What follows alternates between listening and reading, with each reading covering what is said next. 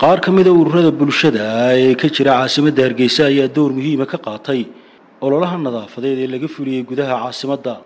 Ururadan ay ka mid ahaayeen ururada haweenka ee degmada gacan libaax hay'adda gaafo oo iyaduna soo dirtay ardayda ay xirfadaha kala duwan barto iyo ururada macalimiinta dhammaantoodba waxay sheegeen inay ku faraxsan yihiin waddankooda ay nadiifiyaan gaar ahaana caasimadda islamarkaana isberber taagayaan dowladda hoose caasimadda hargeysa taagana maanta khamiistii bisha u dambaysay uu noo asteeyey maayarka caasimaddu waxaan leenahay dadweynaha halkan waxaa ku jooga dalladaha iyaga degmada gacalibaax maamulka degmada gacalibaax waxaannu kaga shaqaynaynaa laba degmo degmada axmed dhagax iyo degmada gacalibaax iyo degmada gacalibaax dalladaheeda ururada haweenka.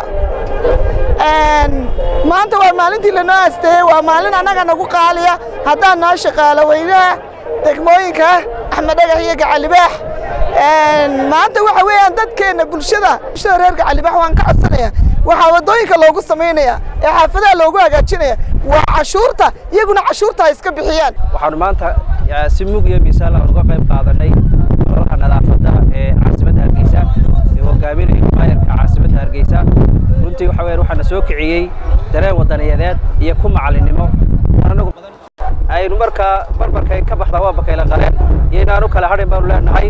Arrintaana maayirka iyo golaha deegaanka ee caasimadda hargeysa aad iyo aad baan ugu bogaadinaynaa waana horumar weyn oo la taaban karo. Oo runtii intii somalilantu ay jirtayba aynolayaasha noocan oo kalea shayguna wuxuu qiimi leeyahay marka la joogteeyo.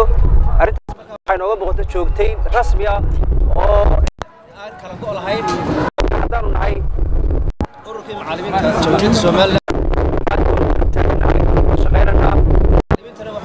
in ololo kasta oo noocana oo la qaadayo innagu aynu hormuud ka noqonno oo aynu qiimihiiba aynu ka qaadanno degmo kasta iyo gobol walba gaar ahaan caasimadda